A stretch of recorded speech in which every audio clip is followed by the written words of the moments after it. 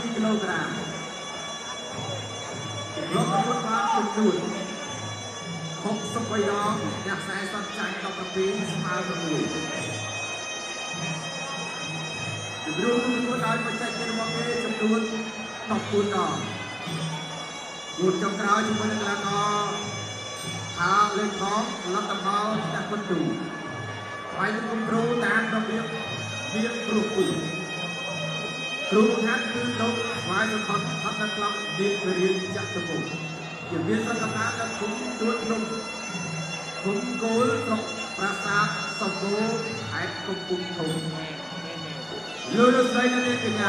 អសូមស្វាគមន៍ដល់កីឡាករបង្គោលក្រហមនៃប្រាំរៀនជាម្ចាស់កម្ពុជារៀនរៀនខ្មៅជឿ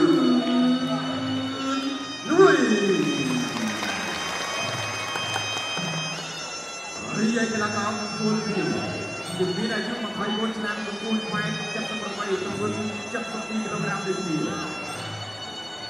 លោកប្រកួតបានចំនួន42ដងឈ្នះ31ចាញ់14ស្មើ2លោកប្រកួតបានបច្ចេកទេសរបស់គេចំនួន9ដង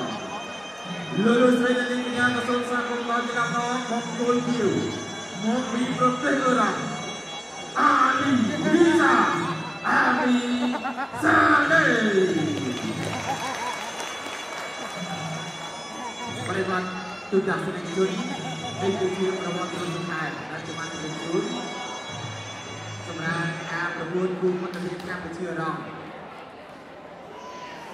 បាទជឿនអ្វីការប្រកួតរបស់កម្ពុជាសូមលេងចាក់អាយបាត់ខ្លាំងខ្លាំងមួយទៀតមកបាទតែ